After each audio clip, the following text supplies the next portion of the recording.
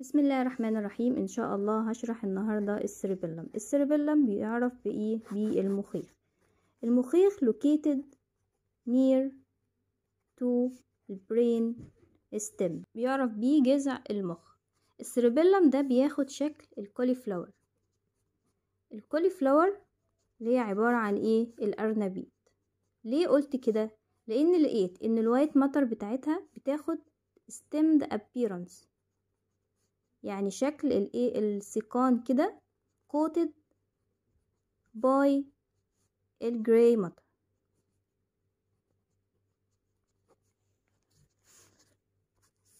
السيربيلم divided into two hemisphere واحد right وواحد left. بواسطة إيه بواسطة worm like band. Of ال gray matter ال band دي بتسمى ب vermis يعني لو ده ال cerebellum مقسوم إلى اتنين hemisphere طبعا بيكونوا equal. بواسطة worm like band ال band دي بتسمى ب الايه ال vermis لما باجي أشوف ال surface بتاع ال cerebellum بلاقي إن طالع منه زوائد كده ارتفاعات كده. الارتفاعات دي بتبقى عبارة عن folds كده. بتسمى الايه؟ folia والمفرد بتاعها folium. كل واحدة منها يعني كل واحدة من ال folia دي عبارة عن إيه؟ عبارة عن gray matter white matter ال gray matter بتعرف باسم إيه؟ cortex هي cerebellar cortex على عكس ال cerebrum كان إيه؟ cerebral cortex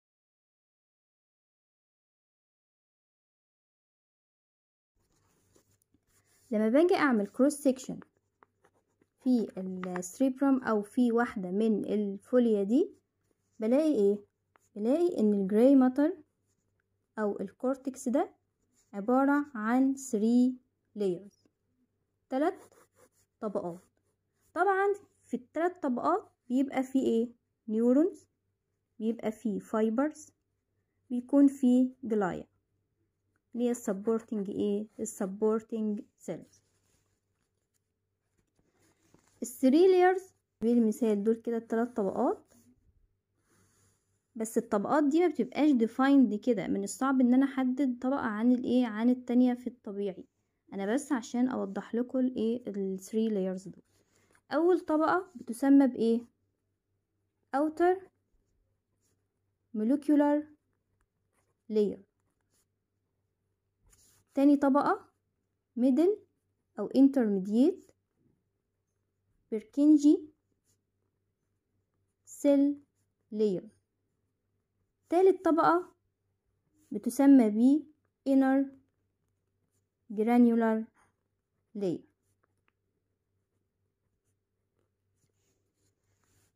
ففي مقولة كده بيقولوها علشان أعرف الطبقات بتاعة ال gray matter إن خدوا أول حروف من اسم الطبقات اللي هي ال M وال P وال G M P G وقالوا مقولة علشان نعرفها يعني mother please go خدوا إيه؟ الحروف بتاعة أول كلمات علشان نعرف الايه الطبقات دي. هنيجي لأول طبقة outer molecular layer. طبعا هي فيها حاجات بس الحاجات برضو اللي موجودة فيها هي حاجات جاية منين؟ من الطبقات الإيه؟ اللي موجودة تحت. إلى جانب إن في خليتين أعرف بس اسمهم دلوقتي وهشرحها بعد شوية. basket cell و stellate cells بيكون موجودة هنا يعني في neuron وفي إيه؟ وفي fibers ال fiber جاية من الطبقات اللي تحت والخلايا اللي موجودة فيها بتسمى بيه ال stellate cells وال basket cells هنمسك ال Purkinje layer من اسمها Purkinje cell layer يبقى فيها خلايا بتسمى بال Purkinje cells يعني الخلايا دي بتسمى بال Purkinje cells هي خلايا بتكون موجودة in single layer في طبقة واحدة. الخلايا دي بتاخد شكل ال pear shape أو شكل ال flask shape يعني دي شكلها بيكون flask shaped cells بتشبه الايه؟ الدورق. وطبعا بتحتوي على الايه؟ ال nucleus ال cell body بتاع ال neurons دي بلاقيها انها بتكون إيه؟ كبيرة. ال dendrites بتاعها بيطلع لل molecular layer لكن ال axon بيمتد deep من خلال ال granular layer بيروح ل deep cerebellar nuclei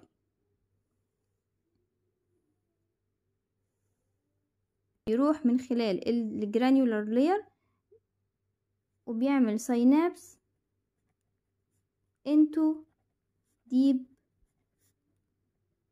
cerebellar nuclei دي بالنسبة لأول حاجة ال Purkinje إيه ال Purkinje cells ودي بتعتبر ال characteristic layer اللي موجودة في الايه ال cerebellum لأن بشوف إن الخلايا بتاعتها بتكون واضحة جدا اللي هي ال Purkinje cell بتاخد شكل ال flask shape أو الايه البير شيب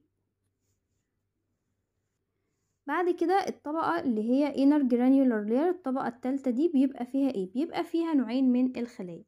أول خلية بتسمى ب granular granular cells أو granule cells.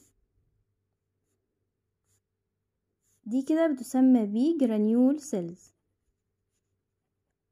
الخلايا دي ال nucleus بتاعتها بلاقيها إنها بتكون deeply stained علشان كده أنا لما باجي أشوفها بلاقي إن هي بتديلي الطبقة دي إن بيكون لونها غامق ال dark appearance بيكون لونها غامق لأن ال nucleus بتاعتها بتكون deeply stained الخلايا دي بتكون round to oval الشكل بتاعها بيكون round to oval وبتكون tight tightly packed together يعني بلاقيها إنها بتبقى جنب بعضها يعني موجودة بأعداد كبيرة closely packed.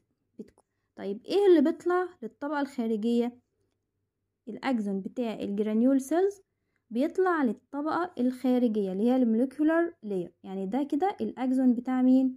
بتاع ال granule cells بيطلع بيحصل له branched إلى T shape branched into T shape بيكون لي parallel fiber ال fiber دي بتعمل synapse مع مين؟ مع ال dendrites بتاع ال Purkinje cells ومع كمان ال basket cells وال stellate cells اللي قلت إن هما موجودين في الإيه؟ في الطبقة دي. طب بالنسبة لل dendrites بتاعتها بلاقيها إنها بتكون short ال dendrites بتاعه ال granule cells بتكون شورت وبيجي fibers جاية من ال deep cerebellar nuclei بتيجي من تحت كده تعمل synapse مع مين؟ مع ال dendrites بتاع ال granule cells. ال fibers دي بتسمى بال mossy fiber بتيجي من ال deep cerebellar nuclei طب تاني خلية موجودة في ال granular layer خلايا بتسمى بإيه؟ بتسمى بال Golgi cells. تبعا للعالم إيه؟ للعالم جولجي هو اللي اكتشف الخلايا دي علشان كده سماها بالاسم ده. الخلايا دي بلاقيها إنها بتكون موجودة بين ال granular cells بتكون موجودة بين الخلايا اللي هي ال granular cells ال dendrites بتاعها بلاقيه إنه بيحصل له branching out في في ال molecular layer يعني بيطلع فوق للإيه؟ ال molecular layer أما بالنسبة لل axon بتاعها بيعمل synapse مع مين؟ مع ال granular cells يعني لو دي granule cells ده ال dendrites بتاعها. وهنا ال Golgi cells ال axon بتاعها بيعمل synapse مع ال granule cells وال dendrites بتاعها بيقوم طالع بيحصل له branching فين في ال molecular إيه في ال molecular layer في fiber بقى بلاقيها إنها بتكون موجودة من ال deep nuclei بتقوم طالعة تعمل synapse مع ال dendrites بتاعت مين؟ بتاعت ال Purkinje cells بتسمى ب climbing fibers. طيب أجي بقى للطبقة الأولى.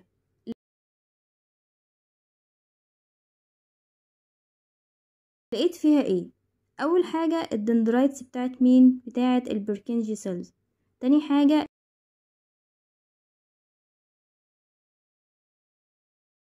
ال axon بتاع ال granule cells اللي حصل له branch ده. تالت حاجة ال dendrites بتاعت مين؟ بتاعت ال Golgi cells. طب الخلايا اللي موجودة في الطبقة دي؟ عندي خليتين. عندي خلية بتكون stellate cells بتعمل synapse مع ال dendrites بتاعت ال Purkinje fiber. وفي عندي خلايا أيضا بتسمى بال basket cells. ال basket cells دي أنا سميتها ليه basket؟ لأن لقيت ال axon بتاعها بيجي يحوط لي ال ال ال Purkinje cells يحوط ال soma بتاعتها. عشان كده أنا سميتها basket cells. وال dendrites بتاعها بيعمل synapse مع الايه ال dendrites بتاع ال Purkinje cells. بعد كده ال white matter ال white matter اللي هي بتسمى بال cerebellar medulla بيكون فيها supporting cells بيكون فيها nerve fiber طبعا وبيكون فيها blood supply لكن بيكون إيه؟ few blood supply. لكن في ال gray matter ال blood supply طبعا بلاقيه إن بيكون كتير علشان يلائم وظيفة. ال demand بتاع ال cerebellum يعمل الوظيفة بتاعته لما باجي أشوف الخلايا اللي موجودة في ال cerebellar cortex لقيت إن في مقولة بيقولوها كده علشان أعرف أو إن أنا متلخبطش في الأسماء بتاعتها. Girls bring golden stars in bucket. فخدوا أول حرف من كل كلمة. يعني مثلا ال G عندي Golgi cells ال B basket cells وال G granule cells وال S stellate cells وال P Purkinje cells فقالوا المقولة دي علشان إيه؟ أحفظ الخلايا اللي موجودة في ال cerebellar خدوا أول حرف من كل كلمة وسموها بإيه؟ بنفس الحرف بتاعت كل خلية.